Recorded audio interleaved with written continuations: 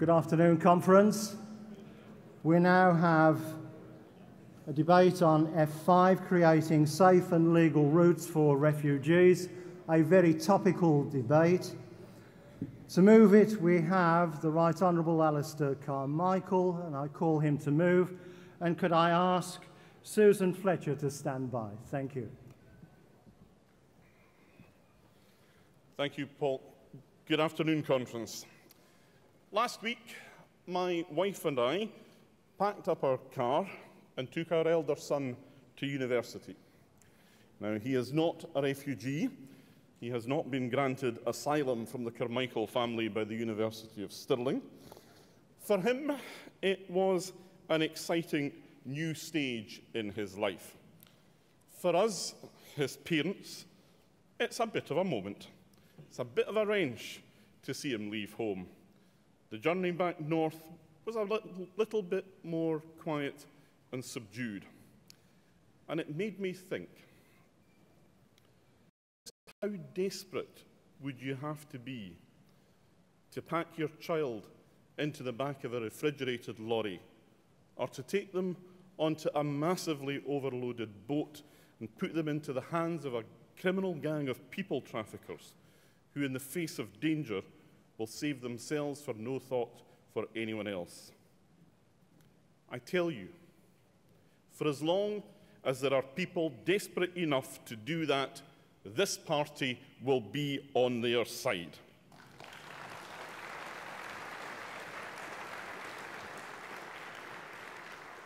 The images in recent weeks have been overwhelming. The response of the British people has been overwhelming, donating money, food and clothing, offering housing and shelter. The response of the British government has been rather less than overwhelming. They have been brought kicking and screaming, led by the nose by public opinion, to a grudging position that is the bare minimum they can do. 20,000 refugees over five years, roughly the same number that Germany will take in one weekend. And twice now, I have asked Theresa May in the House of Commons why our country will only take refugees from within their own country or the region. Why not those that are already in Europe? Why distinguish between two groups of desperate people? Why do they insist on seeing it as an either or? It brings to my mind the Victorian notion of the deserving and the undeserving poor. Twice now I have asked the question, and twice she has flannelled and failed to answer it. Except, of course, we all know the question. The answer, the Daily Mail insists. David Cameron is very fond of making speeches about British values and how much they matter to him. Well, I can think of no British value that would allow you to see the desperation misery and squalor of the camps in Calais and to call it a swarm. This is a defining moment for our Prime Minister. Will he live up to the talk of British values, or is the talk just exactly that?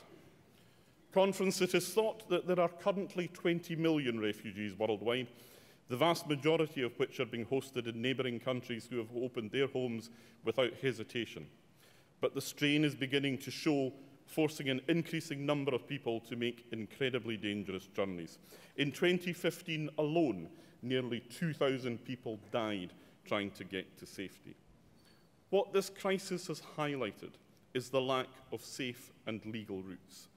These lives did not need to be lost. That's why today I'm asking you to support this motion. We're also happy to accept the amendments which all bring it up to date and which improve it. To the movers of Amendment 2, can I say that the intention of the drafters was never to limit our commitment or ambition.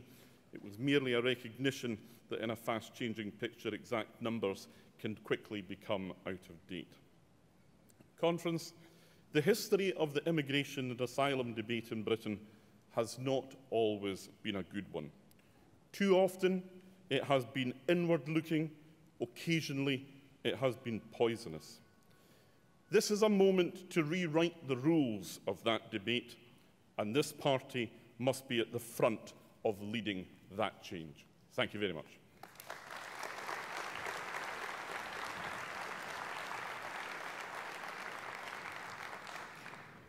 Thank you, Alistair. Um, in the conference daily, there are drafted in some amendments.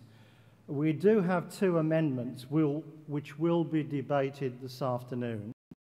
I have had a request for a separate vote on Amendment 1, which I'm not going to take, as it was submitted very, very late and it doesn't change the substance of the amendment. Um, I now call Susan Fletcher and ask Dan Whitehead to stand by. Thank you.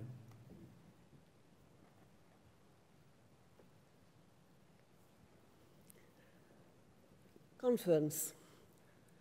This motion was put forward in June by Liberal Democrats of Seekers of Sanctuary because of the deep concern about what was happening in the Mediterranean with the danger, exploitation and loss of lives of people fleeing for their lives.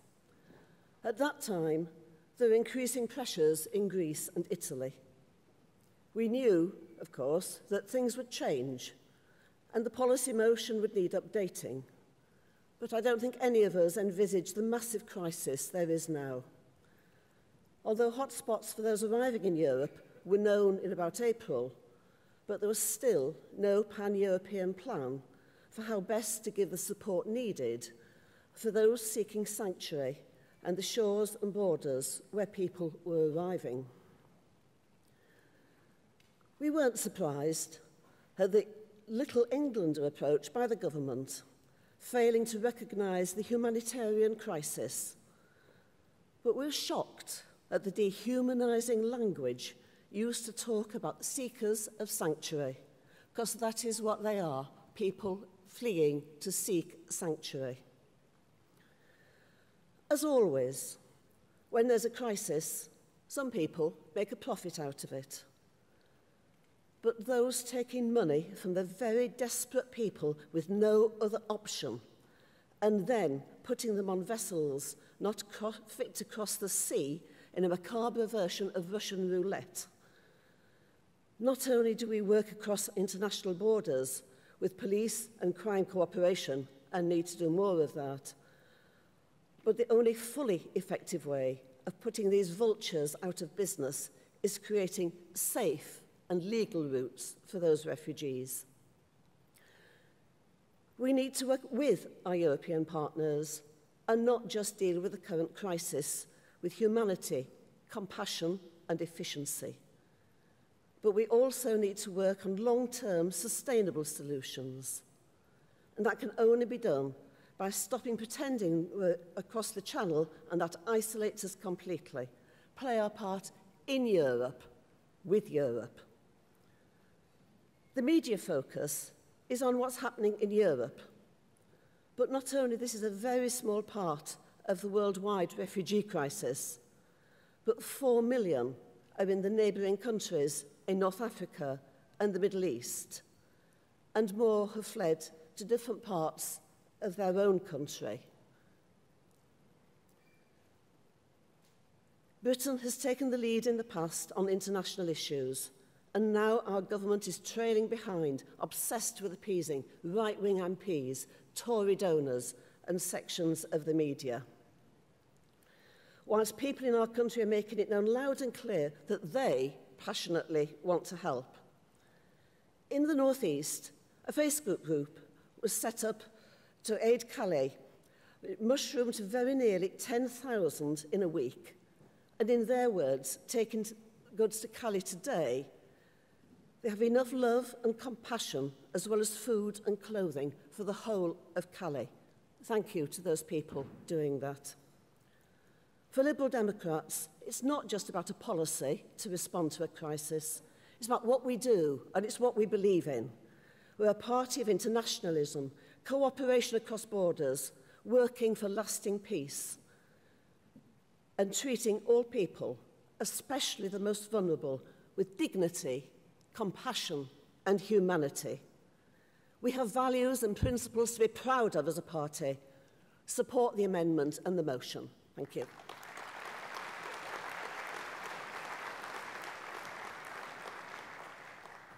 Can I call Dan Whitehead to move amendment number two and ask Anton Georgiou to stand by, please?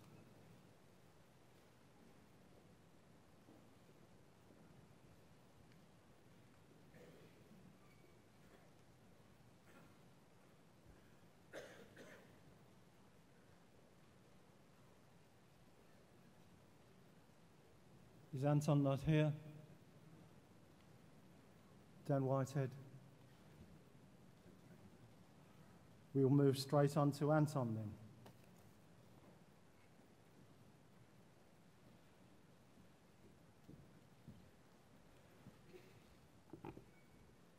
My name is Anton Georgiou, and this is my first time speaking at conference.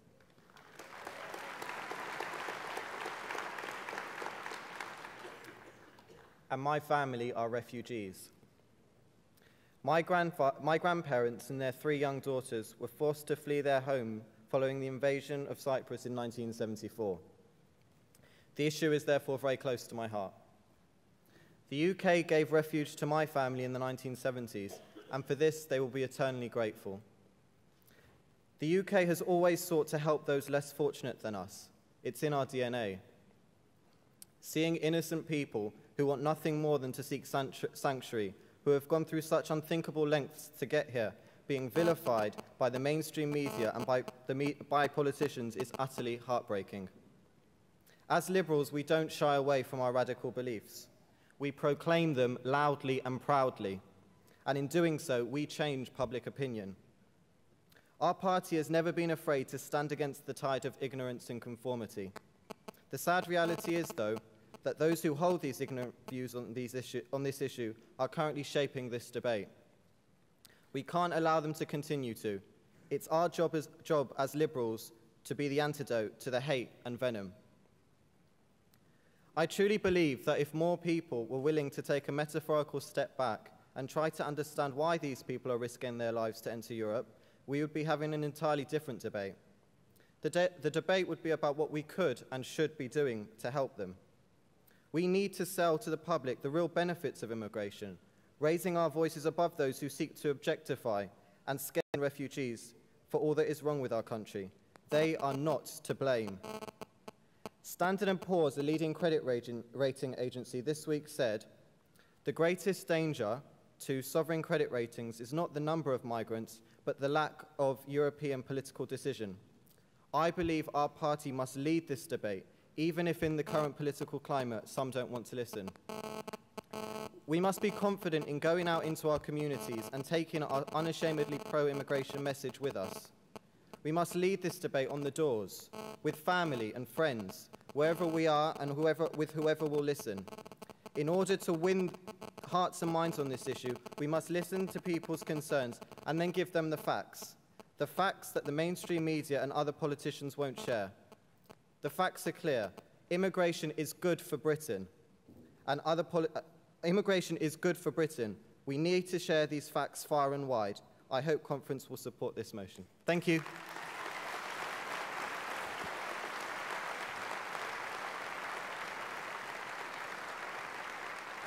Thank you, Anton. Can I call Janet King and ask Jonathan Waddell to stand by, please?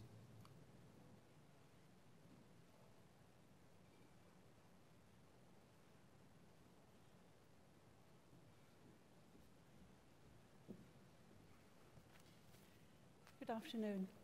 This afternoon in Birmingham at Central Mosque was the funeral of 22-year-old graduate civil engineer Hossam Osman Al-Zebar.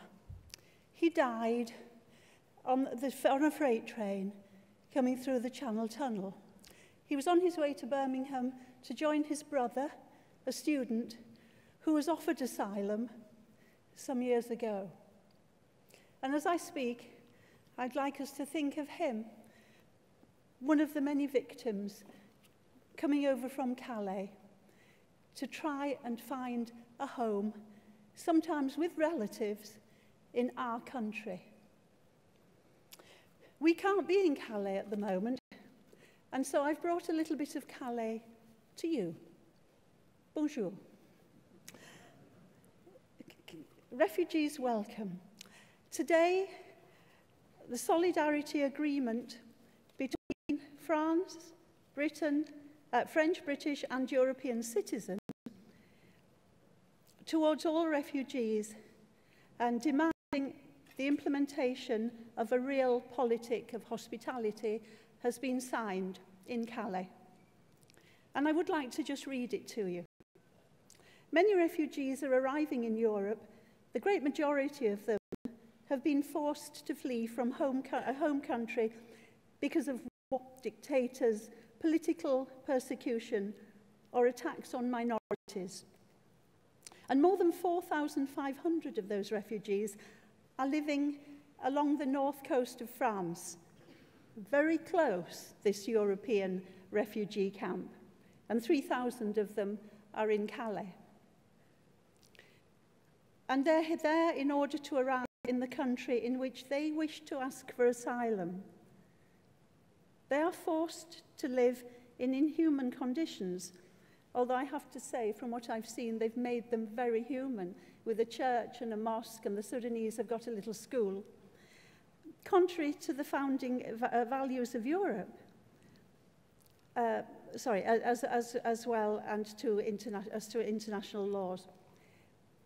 On August 21st, the French and British governments signed in Calais an agreement regarding the further tightening and increased um, security of the French-UK border.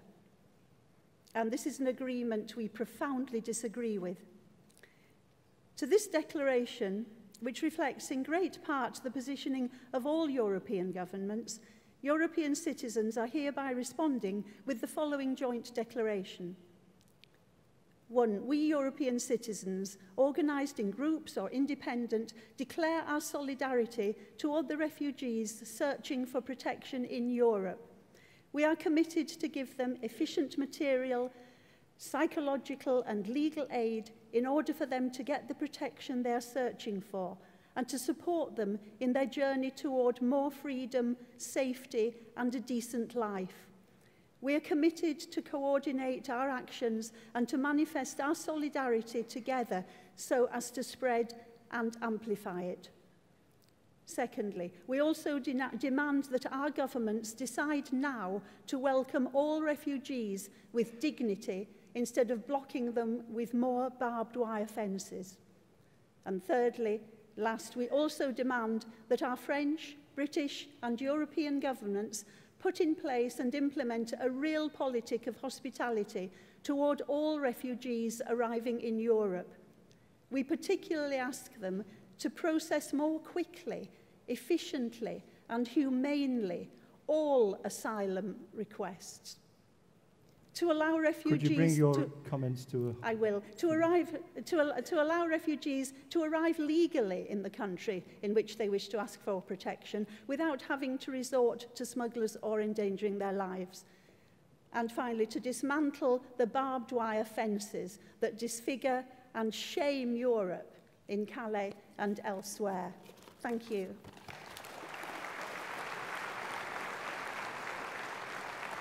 Can I call Jonathan Waddell and ask Martin Vye to stand by, please?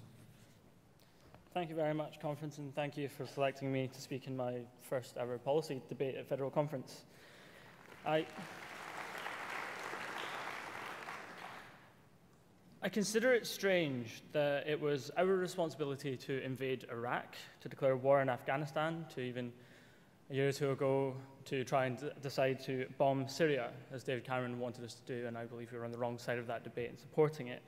But it, was not, it is not our responsibility to house and look after and treat like hu the humans they are, the people that are displaced by those actions, which is why I want to speak in particular for lines 12 and 13. The countries that are mentioned there are countries that we have deliberately gotten involved in, and we have to take the responsibility that we've inflicted upon people abroad people are now displaced because of those actions. Now, our opponents, if they are particularly, uh, particularly opposed, will argue that it's not our responsibility. that, it's, that we should put up the barriers and that we shouldn't be taking refugees. The ones that are particularly more reasonable, even if I disagree with them, argue that because of dangerous crossing, we should not have a total open doors policy because it will encourage too many people to come and to take those dangerous crossings. But by supporting this motion, we say it is our responsibility, and we say we'll make it safer for them so that they can do that. Now, our detractors will argue quite horribly that this is soft touch Britain. Well, I want to know what hard touch Britain is. Why on earth should we treat people and dehumanize them like, like animals or swarms, as David Cameron would call it? Why, what, what is hard touch Britain? Is that the status quo that we've seen already? I want nothing to do with that. The question, they question the sincerity of the refugees as well, sometimes with weird situations to do with haircuts, according to one Tory MP.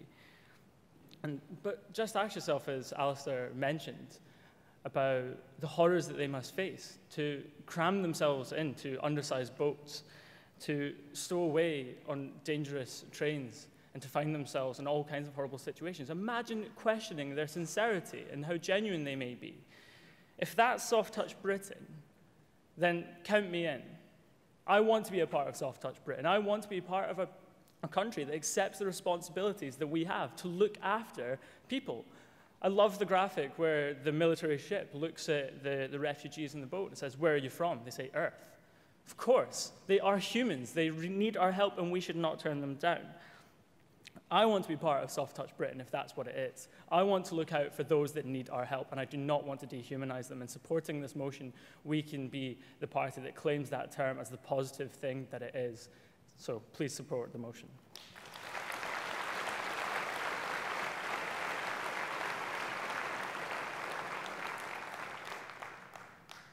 Before uh, Martin Vye comes to the rostrum, could I ask all speakers to turn off their mobile phones because there is feedback. Can I ask Catherine Bearder, MEP, to stand by?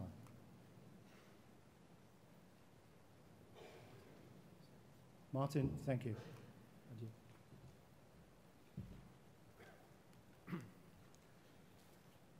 Conference, can I say, first of all, I agree with every single word of this motion and with all the compassion which has been evidenced today. Can I say also, though, that I think that if the uh, television screen, um, television, the evidence on the television screen of the streams of migrants coming across Europe, if it continues too much into the future, I think there is a very real risk that a sense of helplessness will grow. Um, the British public have responded magnificently, um, outpouring of compassion.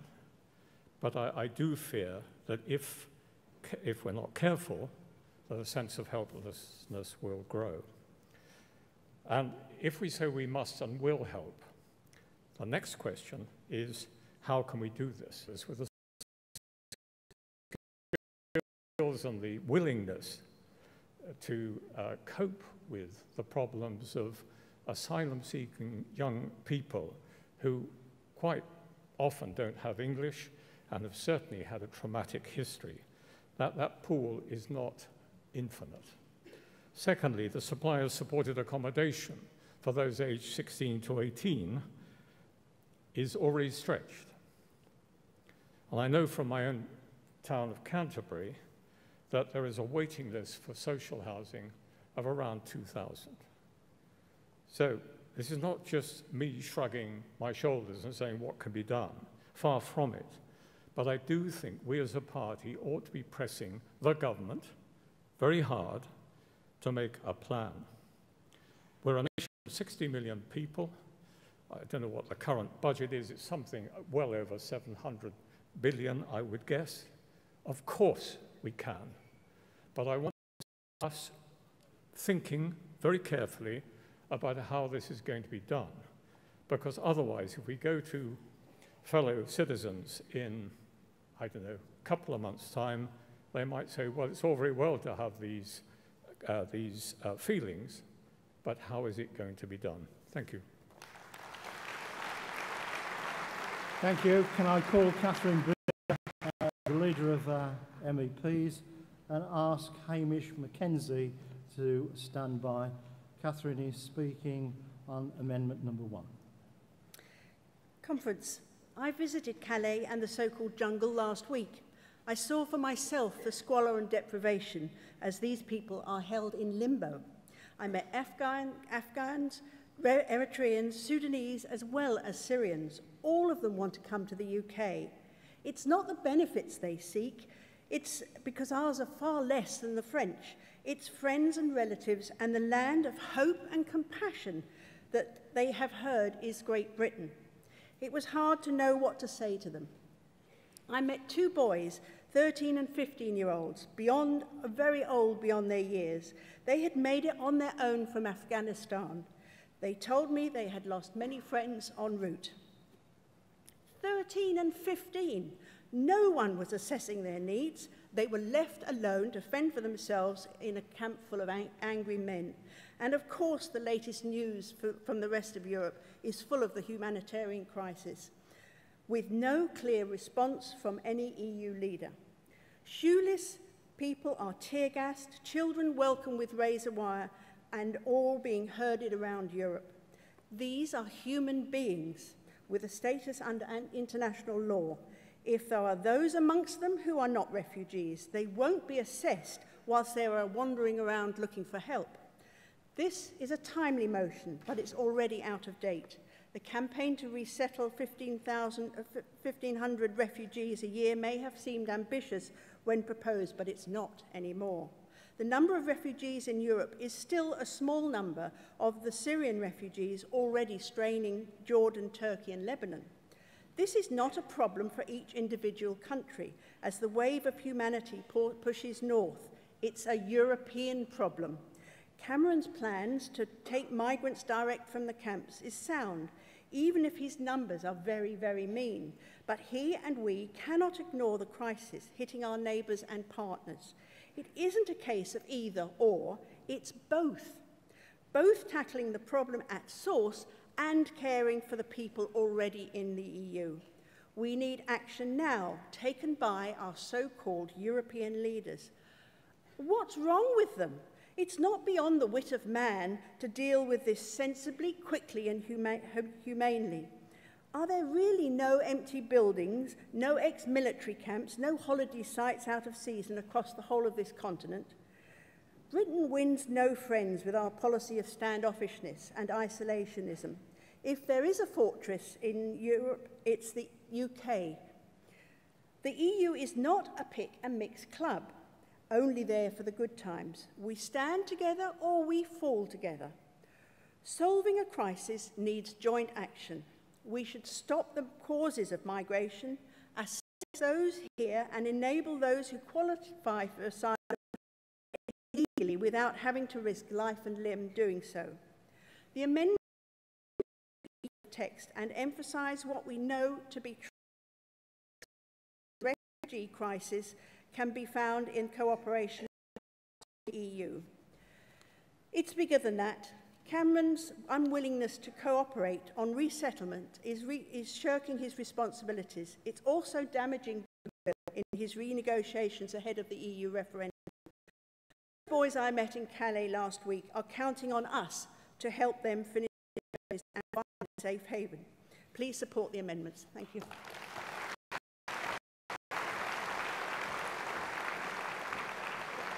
Can I call Hamish Mackenzie and ask Richard Underhill to stand by, please?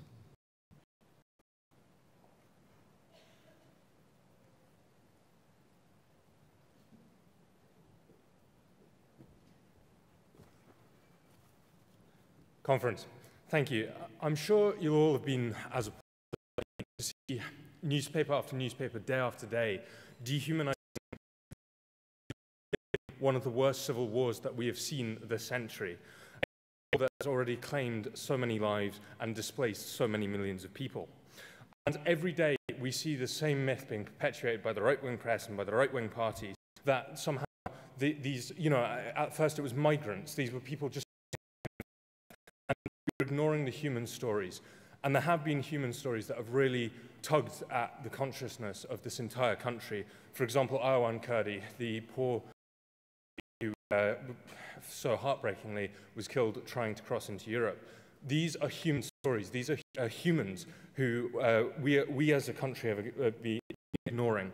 And the man who represents us on a global stage, David Cameron, was calling these humans a swarm and trying to abrogate our responsibilities to uh, house, um, house um, these refugees.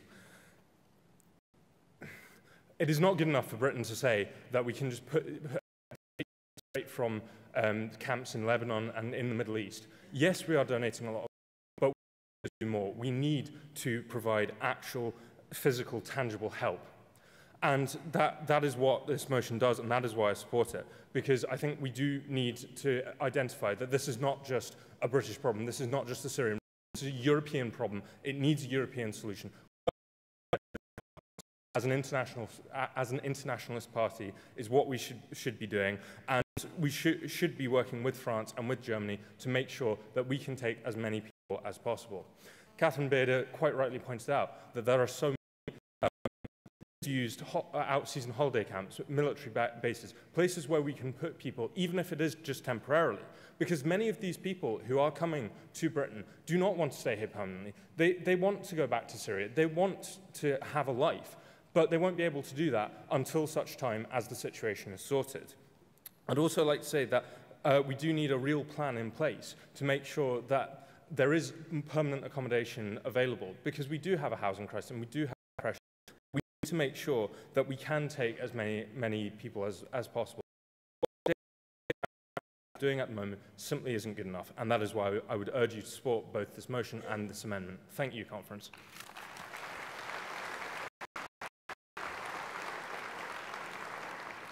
Thank you. Can I call Richard Underhill and ask Nicholas Belfit to stand by, please?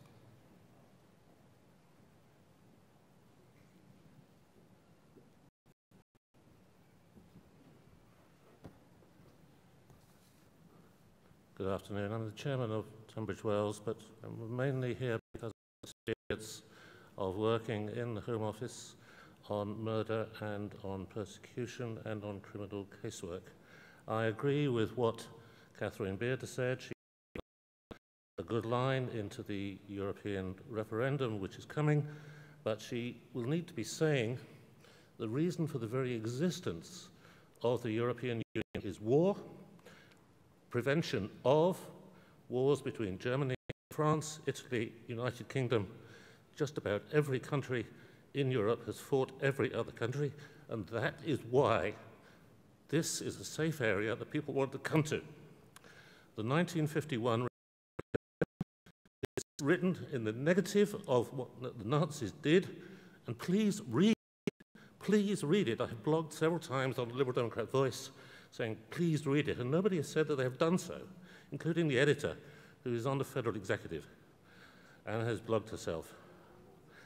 Um, you need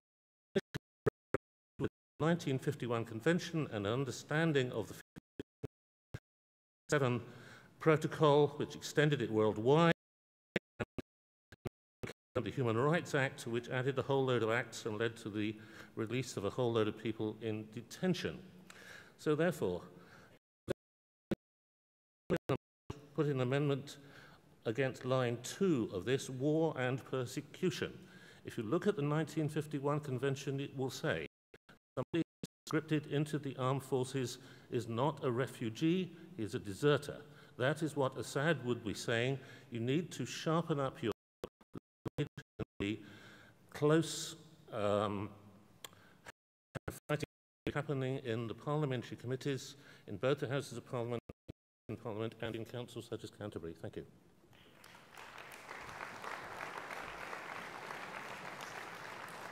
Thank you. Can I call and ask Dan Whitehead, the mover of Amendment 2, to stand?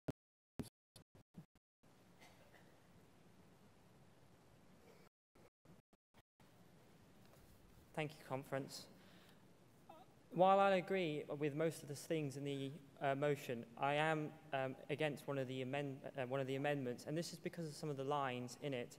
I feel that um, we, in lines two to four, we talk dehumanizing languages and we condemn the actions. Well, I unfortunately don't completely agree. While the, minister, while the minister, uh, Conservative ministers, I agree, are kind of evil lizards. I think we all get that. I, I do think they do stress some that points about how people in this country feel. I come from the Isle of Wight. It has as I know, and almost no immigration. Yet it is one of the people, is one of the uh, places which has voted strongly for people, uh, for parties like UKIP. And dehumanising their, their concerns is not what this party should be doing. We should be addressing these concerns. We should be going forward. And while I, I support trying to bring as many refugees here and helping people, we, uh, someone pointed out earlier, we, we do need to think about encouraging endless amounts of people to come. We do have a certain limit. And what I want to see is a, is a real plan. And this policy starts to show that. It shows a real plan, but then begins to fall into having a go at the Conservatives because we don't believe that they go further enough. So what I'm saying is, strike down this amendment because it devalued an already sensible that we can go forward and we can bring people who are necessary about refugees coming over and we can bring them onto our side rather than sitting there and going, no, sorry, we don't, we don't agree with you, you can't have a say. Because that's basically saying to 35% of the country that voted for the Conservatives, you, you can't join us, you can't have a say, rather than saying, actually, we get what you guys are trying to say, and look, here is the evidence, it's not going to be the way that you guys think. Why don't you join us? Why don't we work together? Why don't we solve this crisis? Thank you.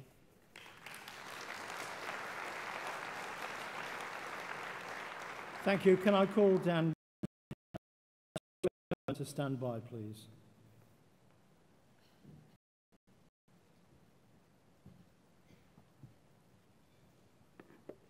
Good afternoon, conference. The refugee crisis has had and continues to have a profound effect across continental Europe. Germany alone is estimating that they will allow in 1 million refugees in 2015. Yet the UK has barely had an impact on our lives. But conference, we must do more. David Cameron has provided a paltry offer to accept 20,000 refugees over the course of the next five years, which is just 4,000. He has also limited his offer to refugees that are based in the Middle East. A completely unsatisfactory response to the crisis, an abdication who are most in need. Our local party in Southwark Old Bermondsey, which I represent, has proposed an amendment that the number of refugees should be actually increased to a minimum of 10,000 per year. We feel that a minimum number is necessary part of the motion, yet given the continual developing nature of the crisis, this may still be insufficient, very insufficient. As the Liberal Party of Britain, we should be the most ambitious when it comes to commitments on refugees. And as Baroness Brinton has already correctly said earlier this afternoon, these refugees should come from both the camps where also from Eastern Europe, where so many talented individuals with skills that could benefit Britain are making the trip through Serbia, Hungary, and Croatia. So I ask you, conference, to support the amendment to increase the number of refugees to 10,000 as a minimum per year. Thank you.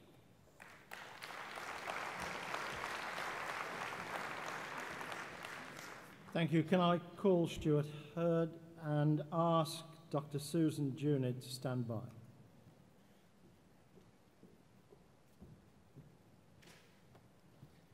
Thank you, Chair. I want to introduce a note of caution into this debate. Uh, up to now, I've agreed with virtually everything said from this platform, but I want to speak 9, uh, asking the government to tackle the causes of why people become refugees. Well, there are many reasons why people become refugees. Uh, poverty, uh, war, um, famine, all sorts of reasons. And if we're going to ask the government to tackle the root causes, we must be very careful going to ask them to do?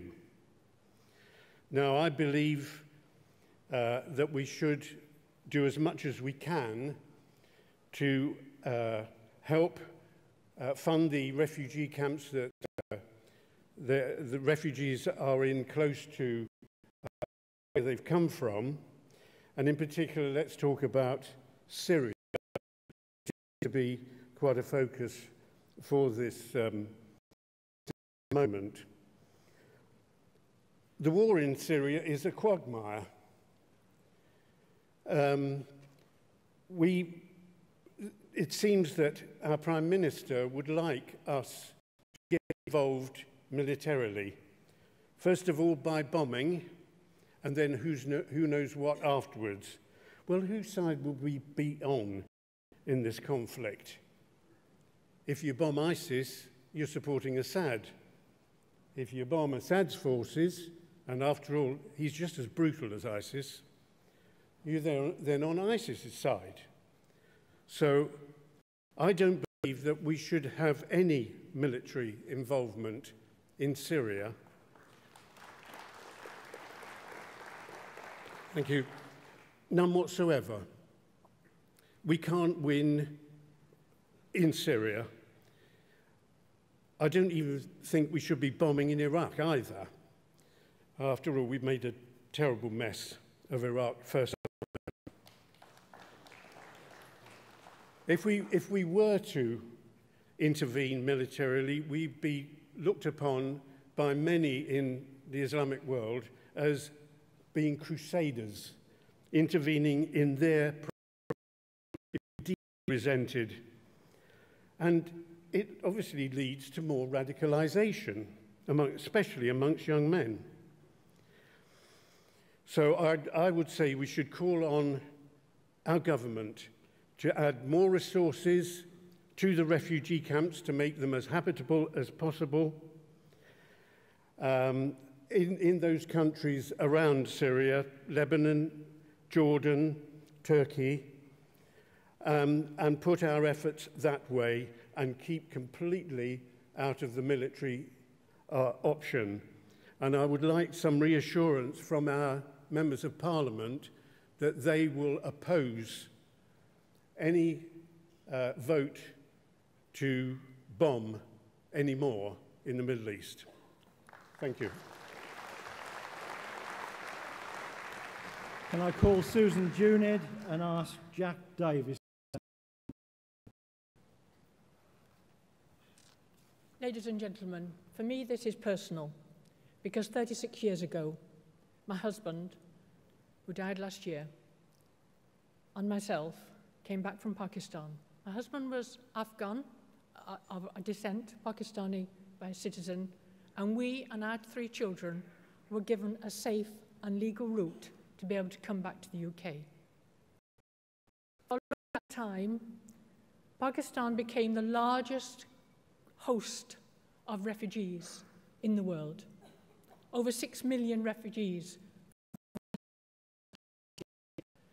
and a large number of those were hosted by Pakistan. In the last three years, Syria has become the largest population of refugees, overtaking the Afghans, who held that unenviable position for three decades. Over three million refugees have taken, um, Syrian refugees have taken refuge outside their own country, mainly in five neighbouring countries. Within just three years, Lebanon has moved to becoming the second largest refugee hosting country, with over 1.1 million refugees, 26% of their population. And Jordan has a refugee population of nearly 10%. In Turkey had also taken 1. and a mere 1.7% have been resettled Uh, those five main, main countries. And some countries are notable for taking none at all. Solve the refugee crisis, and with few honourable exceptions, the lack of leadership and courage in tackling the current refugee crisis has been shameful.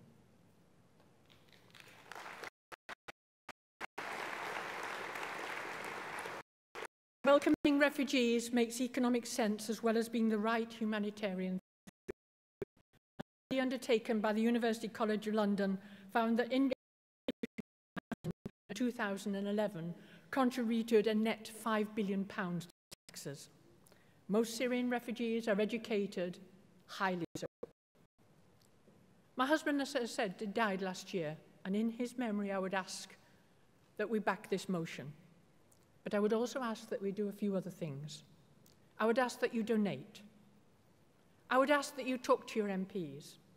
I would ask that you find out some of the true facts and then talk to people about the facts and make sure that we have a debate that is based upon fact, not upon headlines by certain papers, and that we do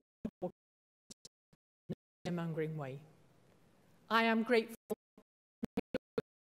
And my husband was eternally grateful for everything this country has given us. And he served this country well. Let some of the others serve this country well by becoming citizens of this country as well.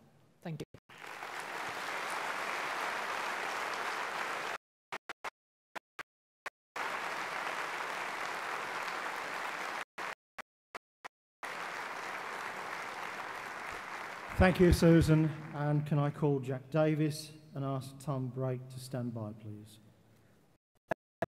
Um, I'm going to be quite quick. I think I don't want to go over stuff that's already been brilliantly said by the previous speakers. We are facing a massive crisis, not just in Europe, but across the world. Refugees are spilling out of Syria and elsewhere because of the war and poverty they are facing. We need a Europe approach to deal with this. We need a quota system each refugees. We need more than we have. Because liberal, we should be radical, we should be and united in supporting them.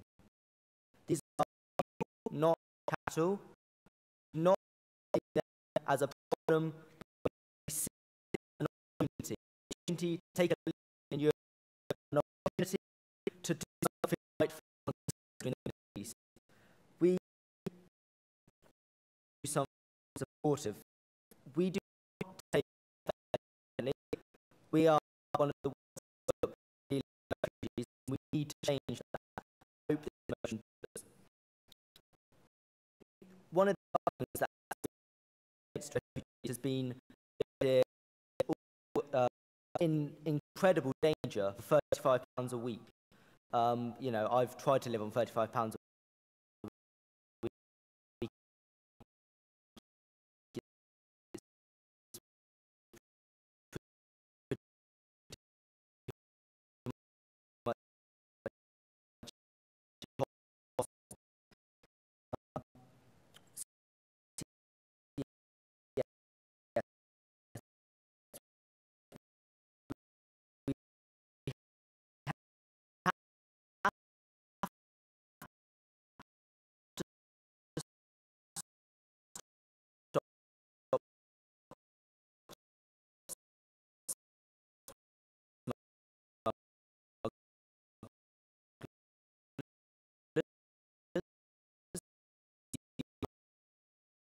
Uh, the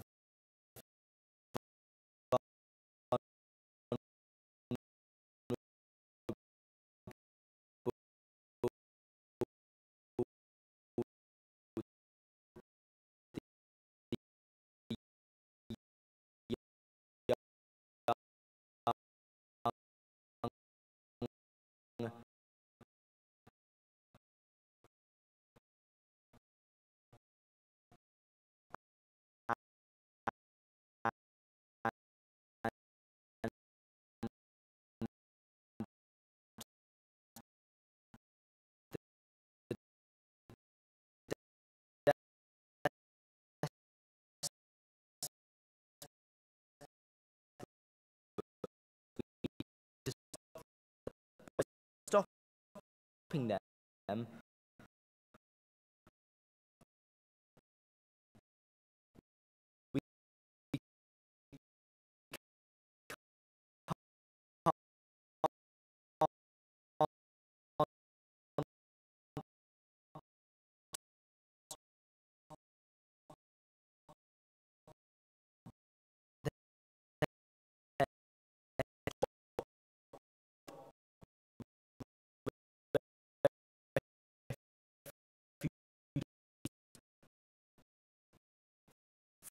from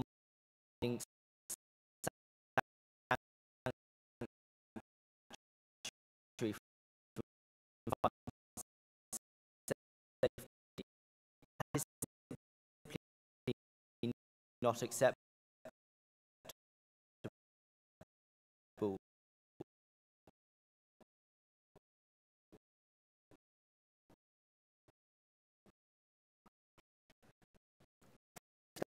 That we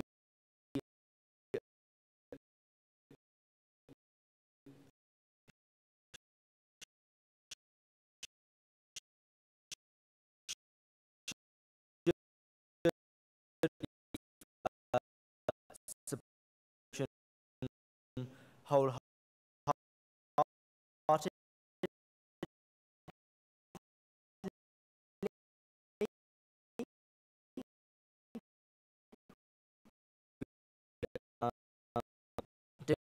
fact, even more.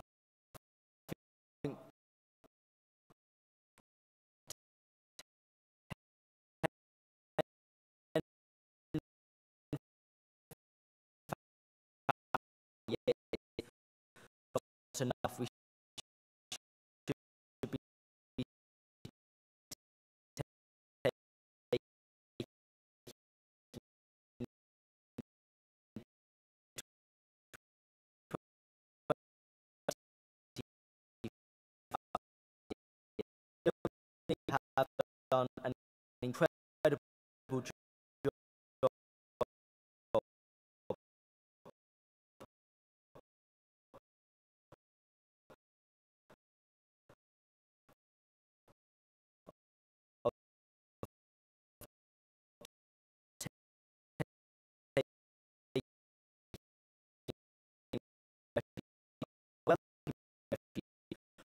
In this country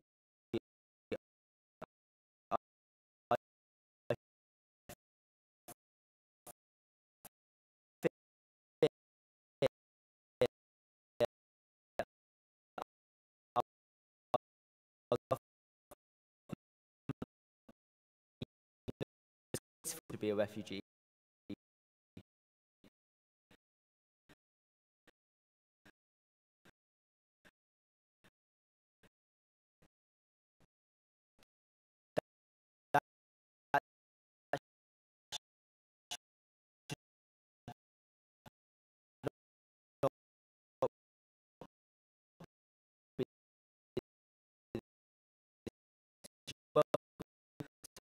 Them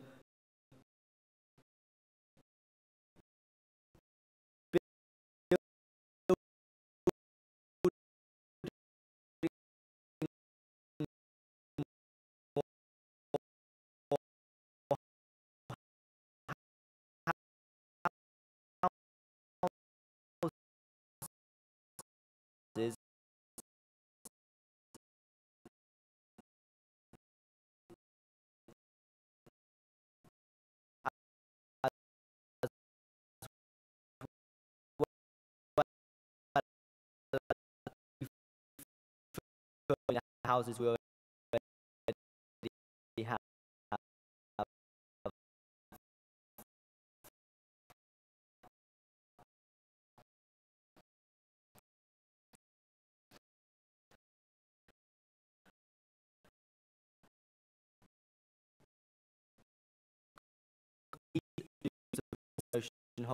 wholeheartedly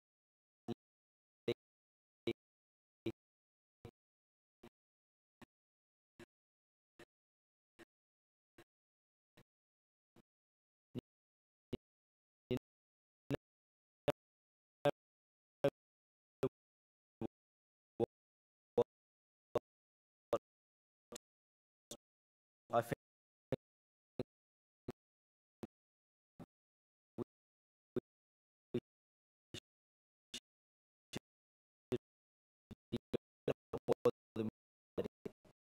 Thank you.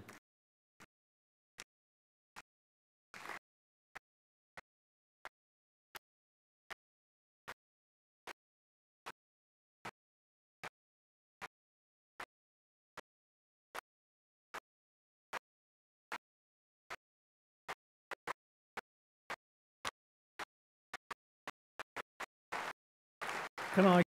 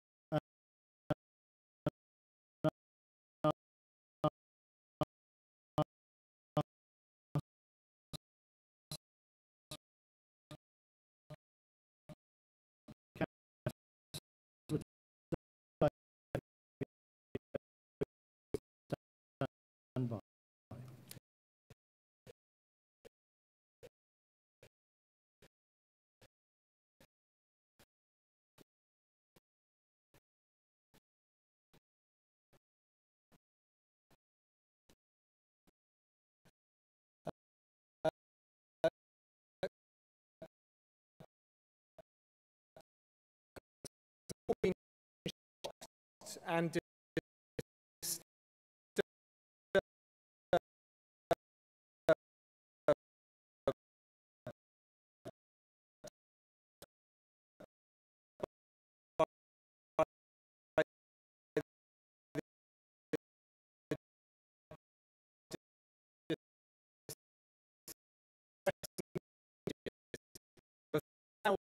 thousands of refugees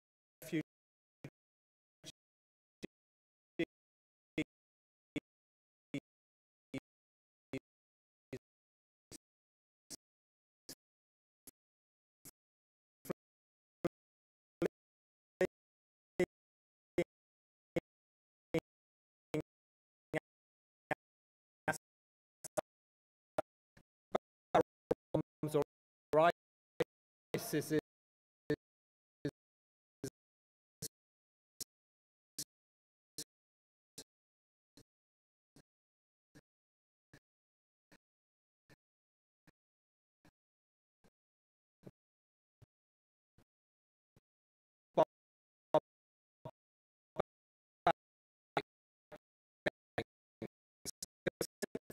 desperation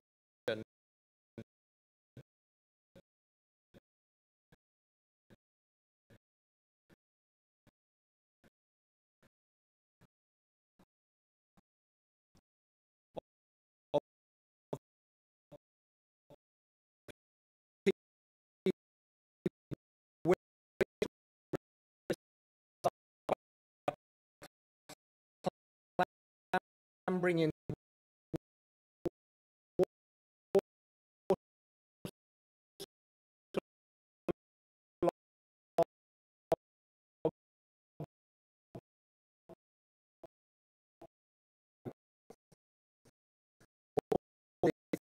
moving train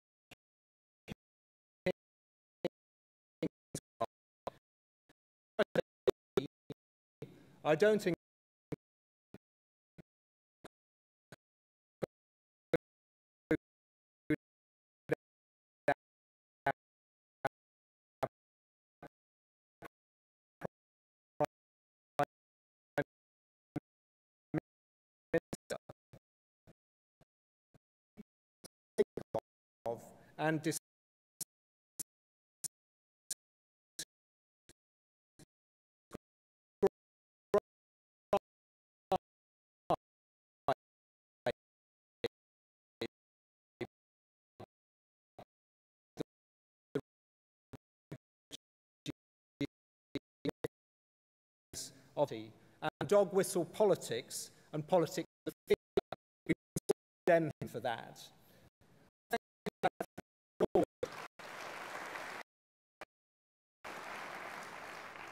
I thank Suzanne for bringing forward Amendment 1, and I thank also uh, the, the, the first-time speakers in this debate.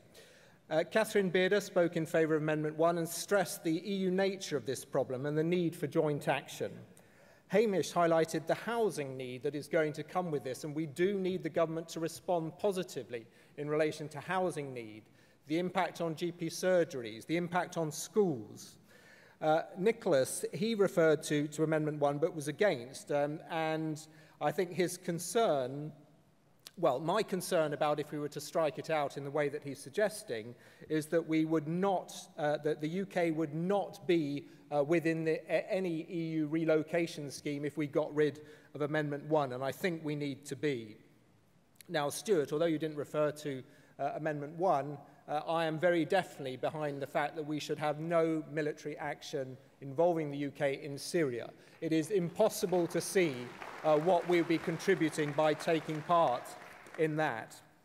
Now, I hope the conference will vote for Amendment 1 and the motion as amended. Amendment 1 highlights the folly of this government's go-it-alone isolationist approach. We cannot tackle EU-wide problems with UK-only solutions. It requires EU cooperation on matters like policing. And this amendment also addresses the omission in the original motion and calls for the UK to participate in the EU relocation scheme which would need to reflect uh, the UK's circumstances, such as our projected population growth, very different uh, to Germany's, population density, and the financial contribution that the UK has made to the camps surrounding Syria, because we have made the second largest contribution uh, in the world, something we should not forget. A conference, this amendment, Amendment 1, will give us a distinctive, liberal, compassionate, and coherent policy on the refugee crisis and make us proud to be Liberal Democrats. Please support it. Thank you, Tom. Called uh, David Noakes and asked Shas Sheehan to stand by for the summation on the debate. Conference. Uh, I'm a first time speaker, but I'm a councillor for 14 years, so uh, I've been busy. Uh, the humanitarian crisis that is unfolding on our television screens and across Europe, with hundreds of thousands of refugees risking their lives to escape war, persecution, requires not only a shared, coordinated response For Democrats, that response is part of our DNA, with our core beliefs in individual and human rights, our commitment to a united Europe, and support for international bodies and cooperation. Day after day, we read and listen to the collective tragedies of hundreds of unnamed refugees who have drowned at sea, and 71 refugees who suffocated to death in the back of a refrigerated lorry in Austria after being abandoned by human traffickers. And we have been moved to action to, in our millions by the distressing images and personal tragedy of Aylan or Alan Kurdi, the three-year-old Syrian boy whose lifeless body was carried off the beach by a Turkish policeman. And the response from individual European governments has both inspired and shamed us.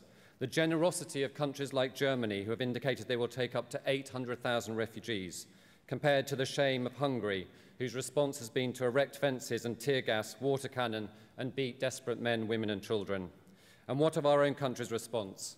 On the positive side, our country has given the second highest amount of aid to support millions of displaced Syrian refugees in Jordan, Turkey, Lebanon, and those still in Syria. But it took public pressure and a parliamentary petition which gathered over 439,000 signatures to make the Prime Minister finally commit to taking 20,000 Syrian refugees over the life of this Parliament, with funding to support local authorities confirmed only for the first year.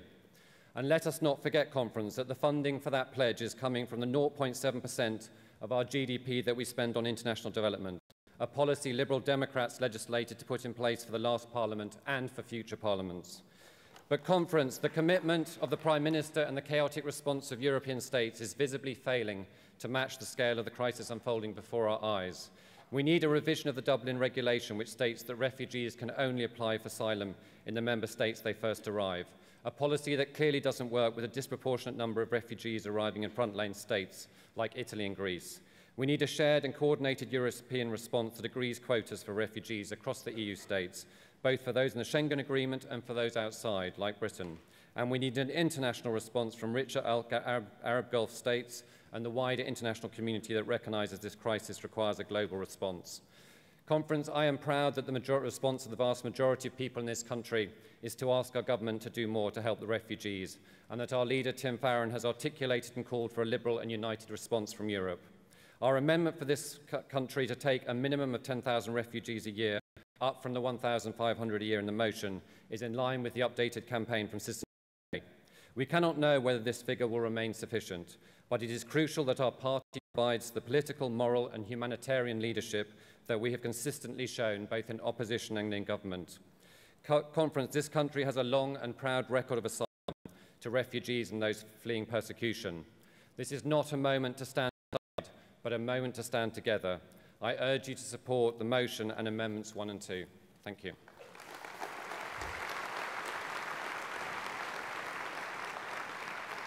Thank you. Can I call Shas Sheehan and congratulate her on her elevation to the House of Lords?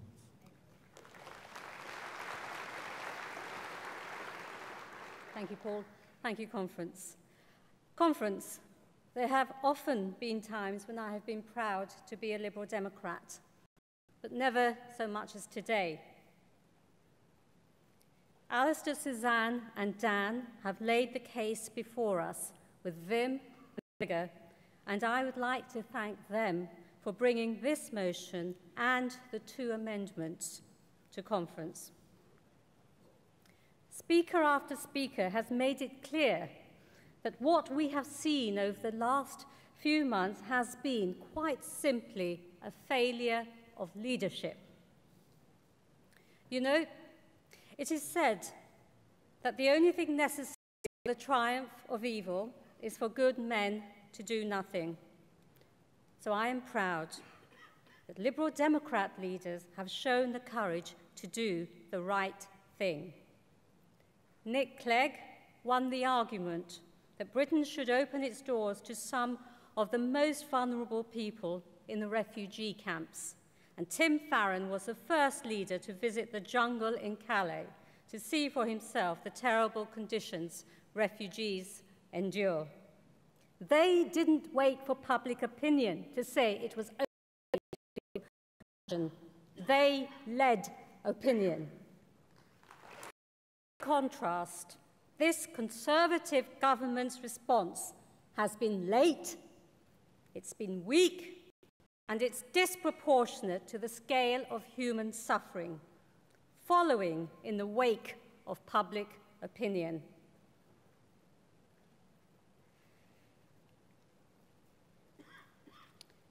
To my mind, this unfolding tragedy has three parts. Firstly, we have a mass movement of people on our doorstep in Europe, and we must take our fair share of refugees. And as Catherine Bearder says, we must work with our EU partners to do this, a point also made by Hamish Mackenzie and Richard Underhill. Refugees who do finally make it here must be made to feel welcome.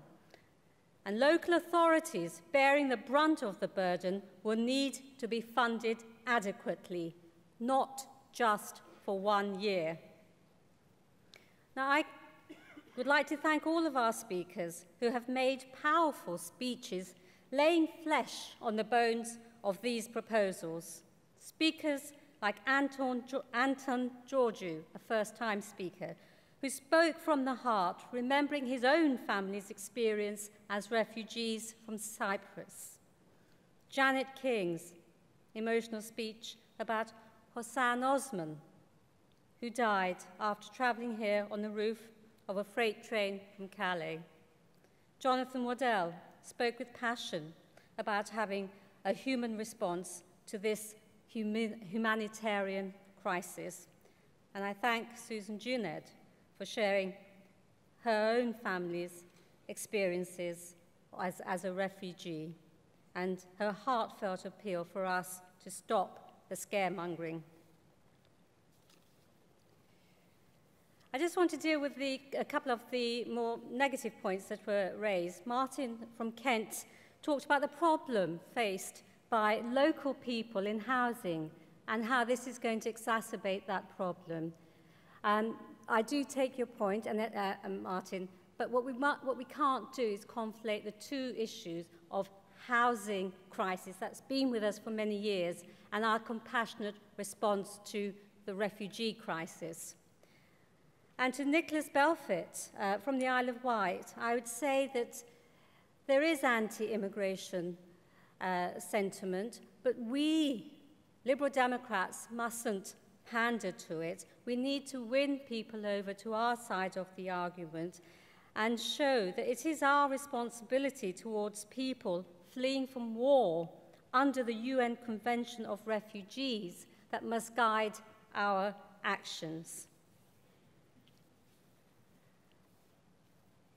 When world leaders gather in New York for the UN General Assembly next week, they will commit to a, to a plan to end extreme poverty, to tackle inequality, and to reduce the impact of climate change by 2030. And that, my friends, is the true liberal way to tackle the mass movement of people at its source. Can you bring your comments to a close, please? Give them the same opportunity as us. Give them the tools. Give them hope. And they will create their own future in their own homes, in their own countries. Please vote for the motion and the two amendments. Thank you.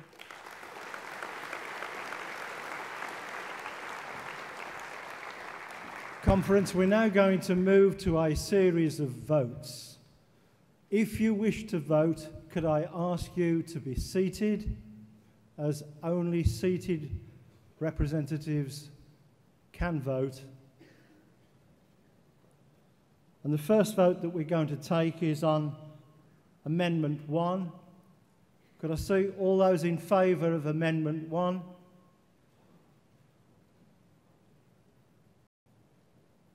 Thank you. Those against?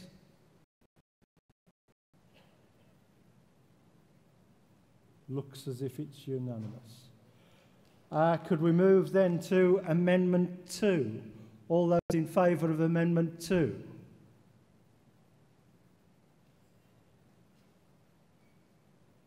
Thank you. And those against? One or two. Thank you very much. That's overwhelmingly carried. Can we now move to the uh, substantive motion as amended? All those in favour? Thank you. And those against? Unanimous, I think. Thank you very much indeed.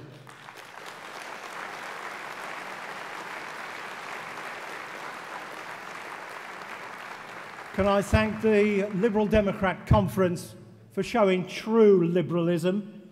Uh, thank my aide, Jeremy Hargreaves, and my hall aide, Liz Lynne, and hand over now to Jenny Lang. Thank you very much.